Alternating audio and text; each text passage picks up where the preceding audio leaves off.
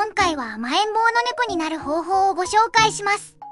いやいやもう我が家の猫は十分甘えん坊なのでさようならとか言わないできっと新しい気づきがあると思いますのでぜひ見ていってほしいのだ。皆さんはどんなタイプの猫が好きですか？飼い主さんに対して非常に愛情深くスキンシップを好む甘えん坊な猫や一見クールでそっけない態度をとるが実際は飼い主に対して深い愛情を持っている時折甘える瞬間があるツンデレ猫。自分の時間を大切にしあまり人間に依存しないで触れられるのを好まない場合もあるが自分から近づいてくることもある独立心の強い猫。新しい環境や人に対して警戒心を持ちやすく時間をかけてゆっくりとなれる必要がある警戒心の強い猫。穏やかで落ち着いた性格のんびり過ごすことが多くストレスに強いおっとりした猫。エネルギッシュでいつでも遊ぶ準備ができているおもちゃやアクティブを楽しむ遊び好きな猫。などなどいろいろなタイプの猫がいますが私はいつもそばにいてくれてスキンシップ多めの甘えん坊な猫がやはり気になりますのでどうしたら甘えん坊猫に育つのか見ていきます。1焦らず時間をかける。どうしても早く仲良くなりたいといろいろやっちゃうのですが猫のペースに合わせて徐々に信頼関係を築いていきましょう。中には甘えん坊になるまでに時間がかかる猫もいます。根気よく猫と接していきましょう。2ポジティブな環境を作る。猫がストレスを感じている場合甘えたくても甘えられません。静かで安心できる環境を提供しストレス要因を減らすように心がけましょう。3遊んであげる。猫は遊ぶことが大好きです。猫じゃらしやボールなどを使って一緒に遊んであげましょう。遊んでもらうことで猫は飼い主に対して信頼感を持ち甘えてくるようになります。4構ってほしい時に構ってあげる。猫が甘えてきたらできる限り構ってあげましょう。猫が甘えてくるのは愛情を求めている証拠です。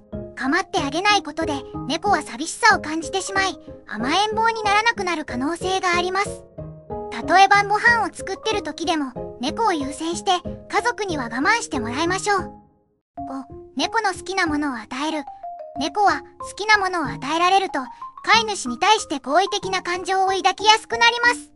猫の好きなおやつやご飯を与えたり好きな場所で遊ばせてあげたりしましょう。6一緒に過ごす時間を多くする。飼い主さんと一緒に過ごす時間が多いほど甘えてもらえる機会も増え甘えん坊になりやすいです。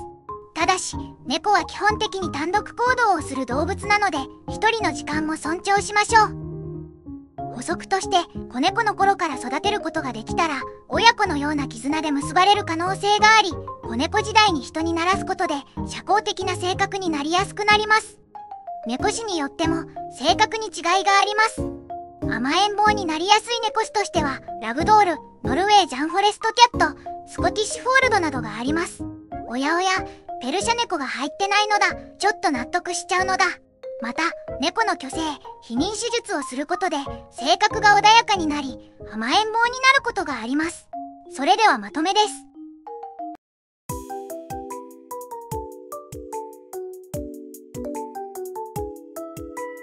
以上が甘えん坊な猫になる方法でした。いかがだったでしょうか？最後に我が家のサンニャンズを紹介させていただきます。姫ちゃん4歳甘えん坊だけどツンデレ要素多めのミネポちゃん。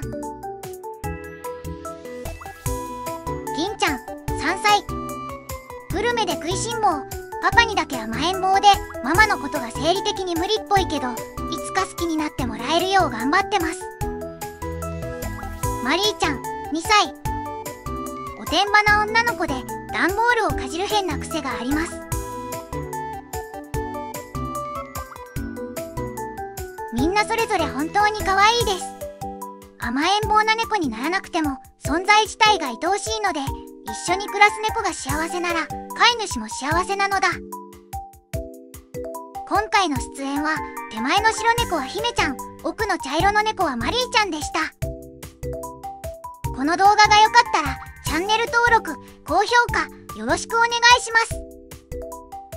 最後までご視聴ありがとうございます。